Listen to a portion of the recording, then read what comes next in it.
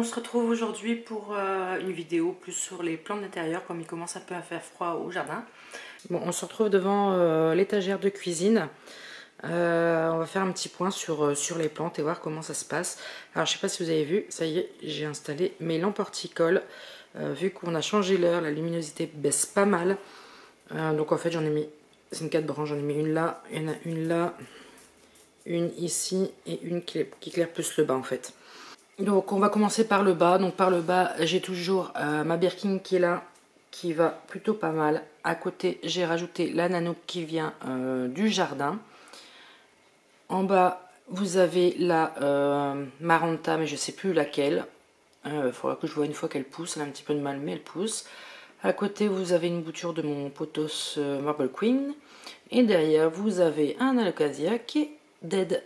Voilà. À l'étage du dessus, donc vous avez beaucoup les Maranta. Donc euh, vous avez la Maranta Carconova et la Maranta Fascinator.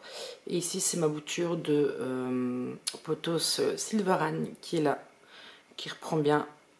Donc c'est trop cool. Bon, j'ai un petit peu de nettoyage à faire, comme vous pouvez voir là. Donc là derrière, vous avez la Maranta euh, Carconova Variegata qui est plutôt pas mal. Bon, il y a une feuille jaune là-bas dans le fond, mais c'est pas, c'est pas catastrophique.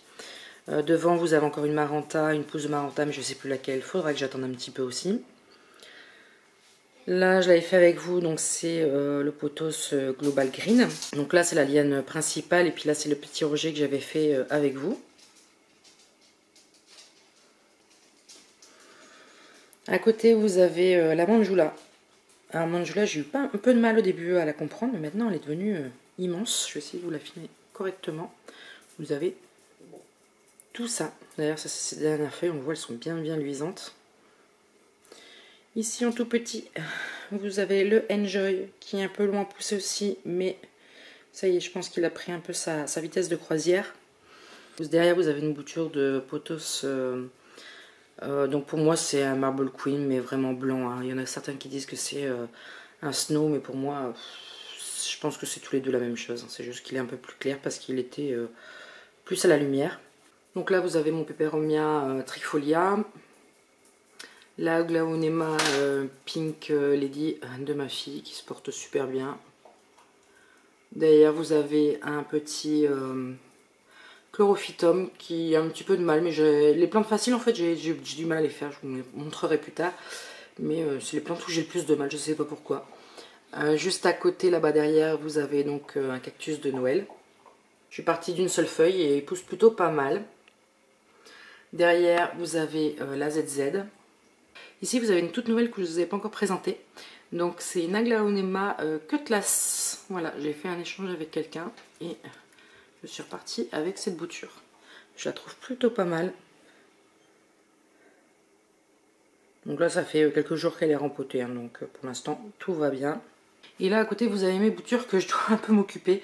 Je les ai un peu laissées à l'abandon et on voit déjà l'eau. Hein. L'eau, elle n'est pas très très voilà. Euh, j'ai fait des boutures de mes euh, coléus qui étaient euh, dehors pour, pas, pour en faire des boutures et pas les perdre. Et en haut, c'était les boutures de Nanook qu'on avait fait ensemble aussi. Il faut que je m'en occupe. je crois qu'elles ont déjà bien raciné. Donc, moi, je suis désolée, vous serez un petit peu à contre-jour. Donc, vous avez ma Oya Crinkle 8 qui est super bien. Alors là, vous avez ma lancifolia qui a un petit peu de mal en ce moment. D'ailleurs, vous pouvez voir le petit bout de papier alu. En fait, c'est pour effrayer mon chat qui a décidé de s'amuser à faire pipi dedans. Voilà, alors que ça est est propre, mais c'est pas grave. Euh, donc, bon, je l'ai bien rincé tout ça, il n'y a pas de souci. Euh, bon, j'ai mis un petit bout de papier alu pour essayer de l'effrayer un petit peu. Ça a l'air de fonctionner, mais bon, elle a un petit peu de mal à se relever en ce moment, mais, euh, mais tout va bien. Elle me fait encore des nouvelles feuilles, donc je pense que ça va aller nouvelles de l'orchidée. Euh, bah, tout se passe plutôt bien et il y a même une nouvelle feuille qui commence à pointer le bout de son nez. Donc pour l'instant, tout va bien. Euh, ensuite, j'avais eu un bébé euh, Piléa avec une commande, je sais plus laquelle. moi, il est Piléa, ça fait deux, elle a déjà perdu deux ou trois feuilles.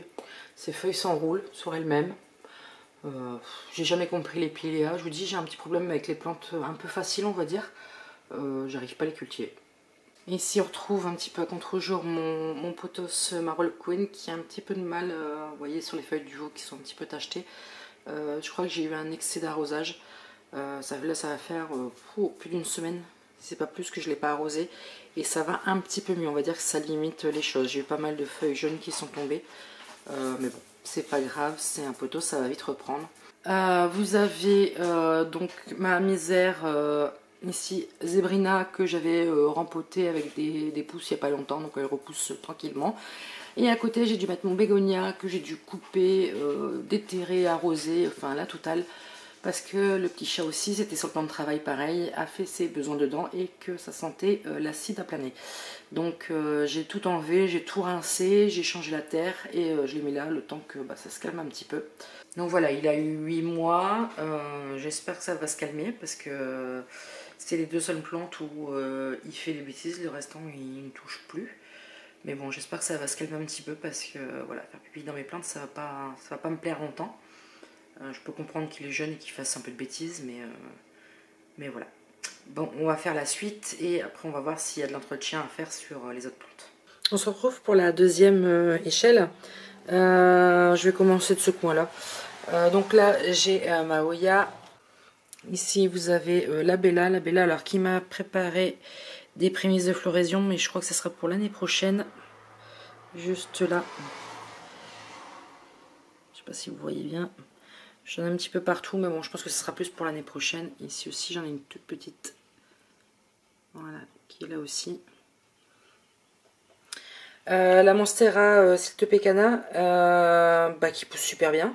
Bon là vous la voyez d'un mauvais sens parce que je viens de la tourner pour la luminosité, mais euh, elle me fait euh, feuille sur feuille pour l'instant, donc euh, c'est plutôt cool.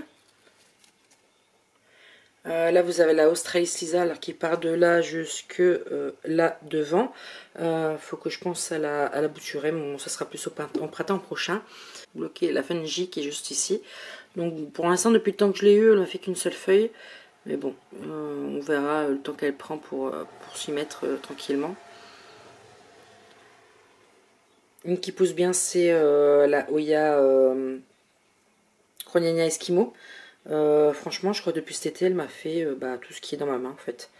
Donc c'est plutôt cool. ce côté-là, c'est un peu plus lent, mais ça pousse quand même. Derrière, vous avez la chaîne de cœur. Donc là, vous avez les petites pousses que j'avais fait avec vous. Donc je les ai mis en terre. Il faut le temps qu'elles poussent un petit peu. Et sinon, la grande liane. Donc elle fait ça, elle fait ça, ici. Et elle redescend euh, sur le côté pour arriver jusque là et elle a encore poussé elle me fait encore des fleurs. Voilà là vous voyez feuilles et fleurs si voilà il veut faire la mise au point. Et là vous avez une fleur ici vous avez une fleur qui est mature. Une petite couleur rose et il y en a une seconde qui arrive juste à côté Bon, on va revenir là, là-haut, donc la chaîne de cœur. Euh, derrière, vous avez la Oya euh, Wayeti Variegata. Elle, prend son temps. Elle m'a fait quoi? Deux minuscules feuilles. Franchement, celle-ci, elle a un petit peu de mal. Par contre, celle-là, je lui ai fait un petit tuteur et ça lui va euh, plutôt bien. Elle pousse plutôt pas mal. Un peu dans tous les sens, mais c'est pas grave. Ensuite, en bas, vous avez la Gracilis. Euh, bon, qui prend bien ses aises. Elle n'a pas poussé énormément, mais elle prend bien ses aises. Et derrière, vous avez euh, la carnosa, tout, simple. Donc euh, elle a bien poussé aussi. une qui n'arrête pas, c'est celle-ci, la, la Raphidophora. elle me fait tellement bien que je pense que je vais devoir la tutorer parce que, je sais pas si vous allez voir, voilà. Derrière, elle me fait des racines aériennes. Donc je pense que je vais devoir la tutorer. J'ai acheté un tuteur, mais j'ai pas encore fait. Bon, malgré que c'est pas la saison, je crois que je vais devoir parce qu'elle prend vraiment euh, en hauteur et j'ai peur que euh, finit un peu par euh, elle finit par s'écrouler tellement que bah, elle est haute quoi. Désolée pour les bruits de camion, j'ai ouvert la fenêtre en même temps. Alors celle-ci, je vais demander à Karen le nom parce que la dernière fois je me suis trompée, elle m'avait donné le nom mais je ne l'ai pas retenu. c'est la bouture que j'avais eue à mon anniversaire, donc au mois de janvier, tout petit pot comme ça quoi.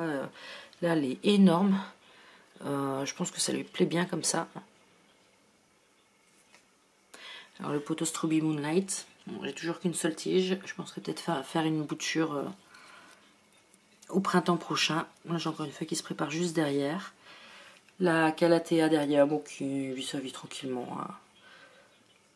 Et juste derrière, vous avez euh, la Monstera Dansuni. Bon, elle, je la comprends pas tellement. Je pense que je vais essayer de la tutorer aussi pour voir ce que ça donne. parce que je perds feuille sur feuille, mais elle m'en refait en même temps. Donc bon, je vais essayer de la, la tutorer, on verra ce que ça donne. En dessous, vous avez la Stenante Triostar. Donc elle, comme je dis souvent, c'est un plaisir de la cultiver. Elle me fait signe quand, elle a soif avec ses feuilles qui se recroquevillent. Euh, me demande rien de spécial. Sa place lui va très bien. Donc on va continuer. Et dans les plantes simples que je n'y arrive pas, le spatifilium. Voilà, c'est ce qui me reste. C'est de toute beauté. Donc euh, bon, j'ai essayé plusieurs fois de changer de place, j'ai essayé de changer de substrat. J'ai essayé de changer le, pot pour un pot en terre cuite. D'ailleurs, euh, j'aime pas pour ça les pots en terre cuite. Euh, voilà, il n'y a rien qui a rien qui veut. Donc bon, je vais je vais la laisser comme ça, finir sa vie, et puis je reprendrai plus, puis c'est tout. Là ici, j'espère que je serai pas trop à contre-jour. Donc là, vous avez la, la Dracena. Donc en fait, à la base, c'est un bambou qu'on a mis en terre. Et puis voilà, ça bien, ça a bien poussé, elle est super belle. Et euh, là en dessous, euh, vous avez le Potos Exotica que on avait fait ensemble, euh, que j'avais fait des tronçons, que j'avais remis ensemble pour faire une pote un peu plus grosse. Donc là, depuis que je l'ai remis en pot, donc j'ai celle-ci qui vient de sortir, on le voit, elle est un peu plus claire. j'ai celle-ci qui vient de sortir. Et puis bon, elle m'en prépare d'autres, hein. là ici elle m'en prépare. Donc bon, je pense que le rempotage est une réussite.